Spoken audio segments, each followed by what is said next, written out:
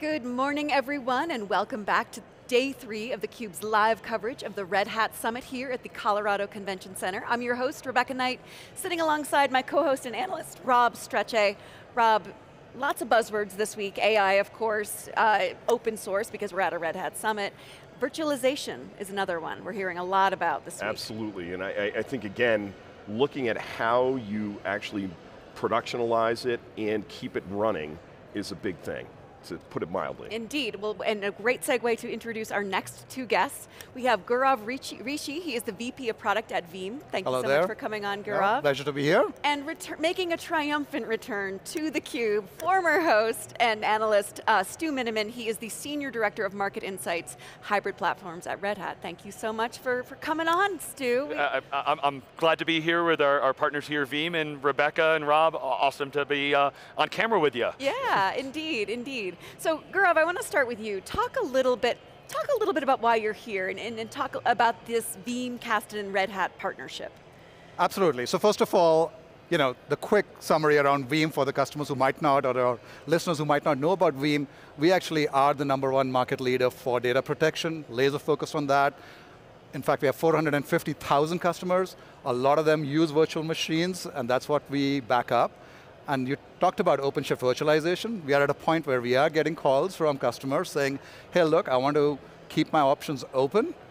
One of the tenets for us has always been data freedom. And so here we are as Kasten, which was a Kubernetes-centric product, and now we are seeing virtual machines come in there. And so right time, right place, and no better partner than Red Hat to be able to go make enable that. So that's the reason I'm here. Yeah, and, and actually, uh, I love how Gaurav said right time, right place, because a lot of the conversations, it's like, we, we've talked about VM and containers for a long time. OpenShift virtualization, not a new product. The, the uh, open source project underneath it, been there. You know, Rob, you've been at the KubeCons. Yeah. We've been talking about this for a couple of years, but um, there's certain industry events that are now having everybody look with a fresh eye, and as Gaurav said, absolutely, you know, when I think virtualization, one of the main things I think underneath it is like, hey, how am I doing my backup, my disaster recovery, and all those pieces, and Veeam was one of the earliest and biggest partners in that virtualization ecosystem, and when you talk to go to a more modern environment, you know, Kasten was the first backup partner for OpenShift virtualization, which has been a super hot topic here at this show to be sure. Oh, to put it mildly, I, I think it's, it, I, I, think again, uh, you know, when you start to look at it, and you kind of, Gaurav, you, you kind of talked about it, I mean, the, the elephant in the room is that, you know, there's licensing changes about with VMware and things like that, and people are starting to look, in fact, I've sat with a uh, set of customers yesterday uh, during lunch, and we were having a, a conversation, and they're, they're looking at that and automation and being that. What is Kasten really leaning into with, open, with OpenShift Virt right now, and what, how is that really, what are you seeing the take up on it, and how are you seeing that go? Yeah, no, so I think first of all, I've heard the word OpenShift virtualization about 100 times over the last two days, so you're absolutely right, that's top of mind. We want to meet customers where they are. I think that's the, that's the key point, and I think we were always saying customers first, partners always, and so really the point out here is, we've got serious customers now who are actually virtual machine customers and now have containers running in OpenShift platforms. So we've talked about the US Navy, for example. Doesn't get more serious than that, to be honest. You know, multi-year deal, they use virtual machines, and now they have containers on OpenShift. We have customers like Zenseact, which is a Volvo company, which has virtual machines, also have containers, again, OpenShift platform. I, I could go on on a long list. So I think first of all, we are at the tip of the iceberg, I want to say at this point of time, but like I said, the fact that you have customers knocking on your doors, amazing. In terms of the technology piece of it, you know, Stu said it, we started off as a startup as Kasten five years ago. One of our first partners actually was Red Hat. We've been contributing to KubeVirt, which is the open source project under the covers. OpenShift virtualization is going ahead and providing the trust to these customers to say, look, out of this universe of 800 partners that might be in the CNCF ecosystem, how can you go ahead and actually get the handholding that you might require? And that's where the integrations have come in. So whether it's going ahead and making sure we have the right scale, whether it's about going ahead and having a migration plan, that's really where we are collaborating and bringing it to market.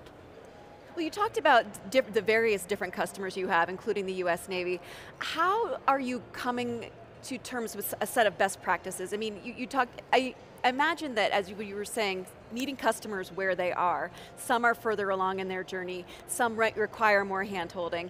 How are you, or are you, in fact, seeing that there are certain commonalities between these customers, or, or are they really their own ships? Yeah, so, so, so Rebecca, you know, the, the, the, the, challenge we face right now is many customers to say, hey, I need to make a change fast. Unfortunately, those of us in the IT world know migration is neither simple it's nor fast uh, to be able to do, but when you talk about best practices, if you look at, uh, first of all, we have tooling to help. There's one of the tools we talked about on the keynote stage, Migration Toolkit for Virtualization, which is part of the Konveyor open source uh, tools out there.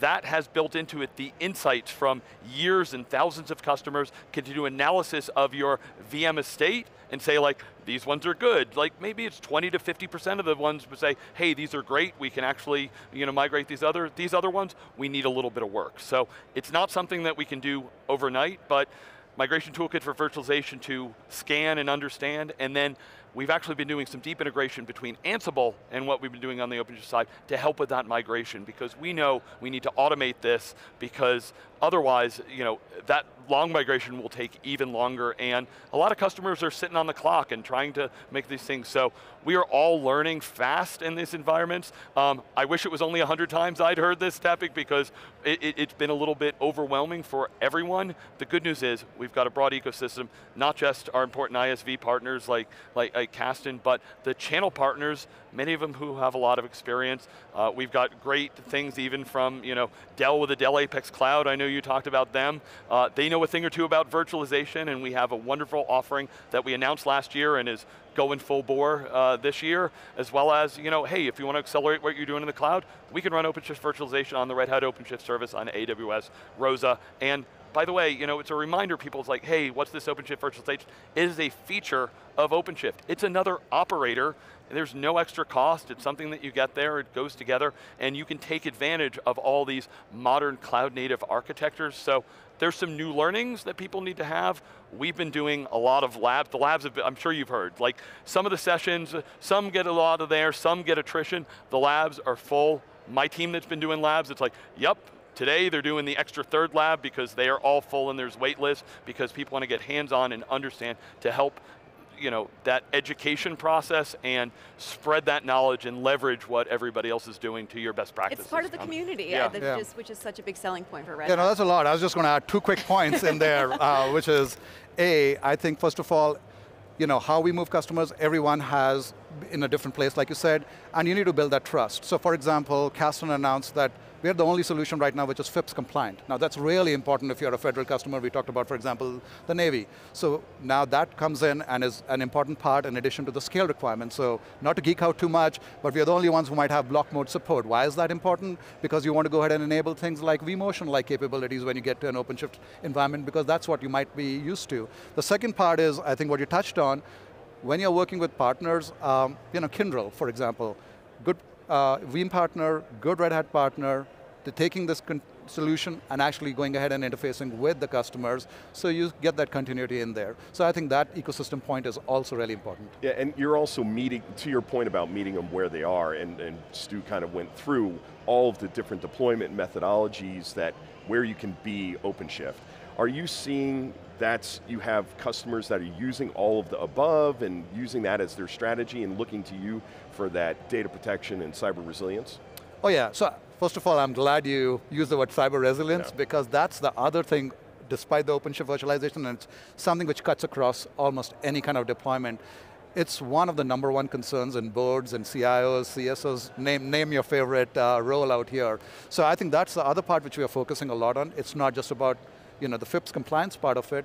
We've also done a bunch of integrations to go ahead and make sure when it comes to ransomware, which is still stealing the headlines out there, that you know, backup is not just your last line of defense, but ultimately your backup is only as good as your restores. So how do you be, how do you go ahead and make sure you have immutability so that you can actually depend and get back on something that you can actually trust, can't be touched on. But we've also added capabilities by integrations into things like ACS, ACM, so you get early detections with integrations into SIEM vendors when somebody tries to go ahead and mess around with your backups. So I think that is a truly important part and goes hand in glove to make OpenShift virtualization a reality, and that's really a focus area for us. So, so what, what was new in the announcement? You guys announced you know, Veeam 7 or Kasten 7, sorry. Uh, I know it's the same I'm, company Actually, I'm, glad but- you said that because actually that gives me a segue to say, Yeah. you know, one of the branding changes which we did talk about was the official name, and I know we never talked about it, Yeah. but you got it right, which is Veeam Kasten. That's what it is. So we have Veeam Kasten for Kubernetes, just like we have other Veeam products. So it's really important back to that 450,000 customers so people can get the brand continuity, but also get the specialization of the fact that Kasten is actually the fourth time running number one recognized leader for as a leader and an outperformer in the GigaOM Kubernetes data protection report. So now what's new in version 7? Actually it's two themes. You hit on one, which was cyber resilience, Yep. and I think things like FIPS, the things that we go ahead and have immutability are all new in there. We actually have support for image stream for the geeks on the listening side. That's the way to go protect OpenShift images when you want to go ahead and have automated uh, you know, backups and roll back into some points. The other theme we have is around enterprise solutions. So I think both Stu and I were hitting on the fact that wide ecosystem partnership, but I think customers are looking for simplicity and trusted partners out here. So we've doubled down on relationships with some of our key partners. Red Hat, the fact that we are here in full force is a testament to that. And what that means is actually we've got this solution which includes these tight integrations we've been talking about to help you move to an OpenShift virtualization to help you go ahead and start cloud native and make sure you can move to things like OpenShift Plus or have a hybrid story so you can go ahead and have things like ARO or ROSA as well as on premises. So I think those are the key pieces we see across data protection, cyber resiliency, as well as application mobility. Yeah, uh, you know, unfortunately, everybody would love, and they say, hey, I just want that easy button, just tell me, you know, one, two, three, isn't there a wizard that did this? The reality is that every company, how deep they do the integration, what APIs they had, what storage they have beyond, uh, beyond those, there's a lot of uh, uh, pieces of that, and in the data center, uh, you know, I, I remember, you know, CIO said every application we really built a Taj Mahal, and uh, it would be nice if you could be more off the shelf uh, for, for these kind of environments. But we do have, we've got tooling, the ecosystem, which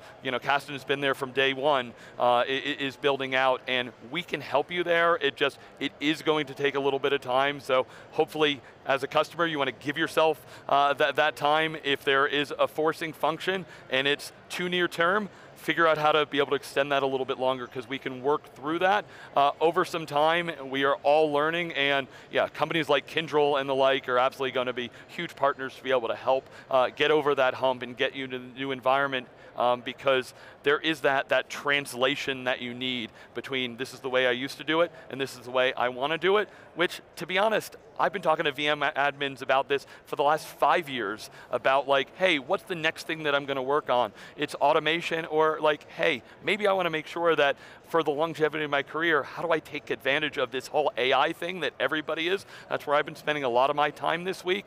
And to be honest, if you stayed in that older environment, you're not ready architecturally to take advantage of AI, and we're all diving into this from a career standpoint because this is where it's going to go for the next 10 to 20 years. Well, speaking of that, I mean, I mean, I, am I'm curious about how you talk with customers about that. I mean, you're just talking about it, uh, even from an individual standpoint of, hey, if I want, I got to be working for a bit longer. I need to, I need to know this stuff, get get cool with it, experiment, learn, understand it.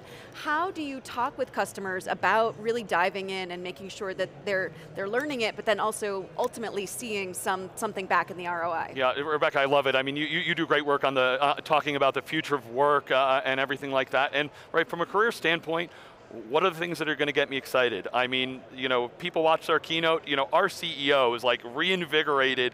We're all digging in because there's so much that we learn here. So, you know, automation is a key, you know, tool set and skill set that, you know, there, there's lots of room here. Ansible Fest has been buzzing and, and lots there that will help along that technology because every organization, I'm being asked to do AI it's not new headcount and new budget for it, so you are taking some existing people and helping to train them up and skill them up to take advantage of that. So again, I almost look at it, this virtualization and a virtualization move and AI adoption go really together because I need scalability. I need to be able to do things even more um, and interact with it. So if I don't move along that journey towards modernization, I can't take advantage of the opportunity of AI.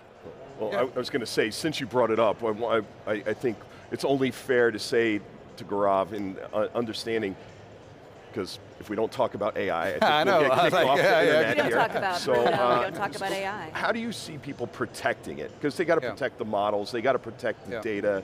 It's it's about the ecosystem, and it, again, we saw it from all of all on stage. And in fact, the demos that were done by Chris uh, Morgan and all of this around, hey, all of those pieces from when it's on the laptop to all the way when it's in production on OpenShift AI. How are you seeing customers protecting their AI? No, that's a great question. So first of all, I mean, to Rebecca's point, the number one skill, uh, just to, just to close on that from my perspective, because I have kids and you know, it's, it's not just a question of the people here, but it's sort of the next generation too. And I think learning to learn is probably the number one skill I would sort of go ahead and advocate for. All of us need to do it, and we need to do it better than we've ever done before. So great time to be alive and to be learning, but that would be my general point. I think to your specific question though, um, what AI has really done, I've never seen so much experimentation in my career that's going on with our companies uh, and all our customers right now to be able to go and create different types of models. It's brought to the forefront the importance of data and how it can be used for not just automation tasks and things of that nature, but productivity gains as well as differentiation. So now that's important, what's come to the next step is essentially people saying, well, I might be using vector databases, for example, in this particular world. How do I go ahead and protect those vector databases? So we work with companies like EDB who might have a vector interface, or there's a next generation of companies coming in play. So Kasten actually has gone ahead and contributed a project called Kanister to CNCF as an open source, which allows you to go ahead and create these blueprints to be able to build protection mechanisms for a lot of these databases. So that's number one.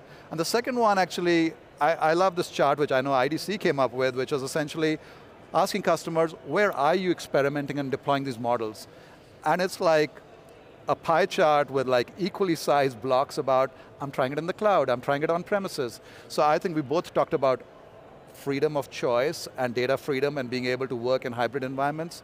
I think Kasten's really known in addition to data protection for is the data freedom part of it. So that's the other part we really see customers being super conscious of saying, well, Kubernetes came with the promise of portability, Kasten can actually go ahead and make that a reality. And Yeah, that's really where we were. It, it, it's so many of these things echo what we saw in the overall cloud adoption. You know, when I first went to the cloud, oh, do I still need to think about data protection and how about security? Those can't be an afterthought. And some things are a little bit different when we talk about AI. We're talking about some massive uh, bits of data um, and making sure that you know security is absolutely a piece of it. And even if we talk about, we've talked about open source and AI this week, at the end of the day, if there's proprietary data, um, I want to make sure that's controlled. Many of our customers, that's why you know I'm getting a small GPU farm, I'm doing it in my data center because I don't understand well enough Yeah. what some of the large solutions are doing if I don't do it in my four walls. I mean, those who have been around long enough, it was really nice when you could just lock the door and not have it connected to the internet